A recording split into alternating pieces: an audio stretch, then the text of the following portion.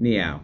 I'm Lance Slaughter with the ALS Association, and I am so honored and delighted to have the opportunity to share our experience with the Ice Bucket Challenge and also share how social media has had an impact not only on the ALS cause, but the entire nonprofit sector here in the United States and around the world. Say